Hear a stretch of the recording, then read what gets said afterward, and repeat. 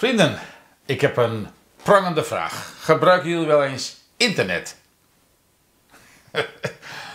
ik maak me een beetje zorgen. Zijn we wel klaar voor de toekomst in Medemblik? Mijn naam is Peter Commandeur. Welkom in mijn wereld.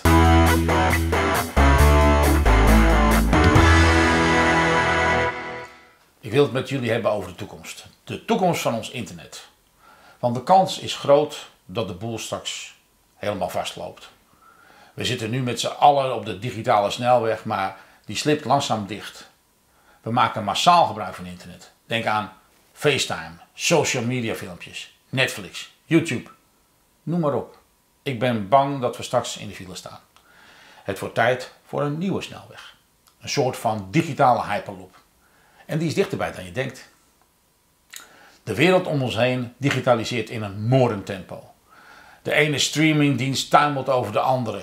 Netflix en YouTube zitten tegenwoordig al standaard in tv's. De deurbel. De lampen. De thermostaat. En straks vertelt je koelkast ijskoud dat je melk op is. Oh nee, hij geeft het nu meteen door aan de supermarkt die het vervolgens automatisch in je winkelmandje stopt. Moet je het alleen nog zelf even afrekenen. Delta Fiber is bezig om glasvezel te realiseren in gemeente Medemblik. Daar is een dekking voor nodig van 25%. Dus als 25% van de medeblikkers inschrijven, kunnen we straks gebruik maken van de digitale supersnelweg. En dat betekent dat we met een gerust hart de toekomst tegemoet kunnen zien. Tot 1 april berekent het bedrijf geen aansluitkosten van 650 euro. Dus dat is mooi meegenomen. De aanleg zal in 2023 plaatsvinden en de abonnementen zijn niet duurder dan wat de bestaande providers leveren. In een aantal gevallen zelfs goedkoper.